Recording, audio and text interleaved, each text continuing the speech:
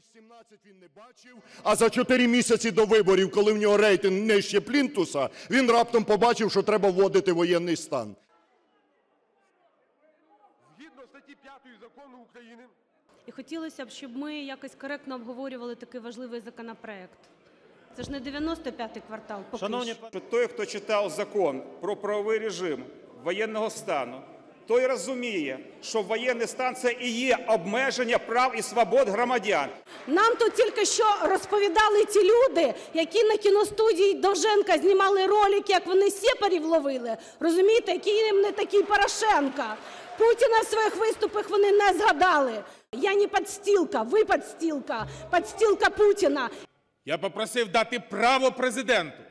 Як тільки російський солдат перетне кордон, я не буду втрачати жодної секунди для того, щоб забезпечити захист української землі. І зараз, коли нам треба буде. Можна, щоб ми не матюкалися в парламенті хоча б? я, будь ласка, Ви проявляєте таку культуру. прошу, будь ласка, підтримайте, колеги, підтримайте, голосуємо.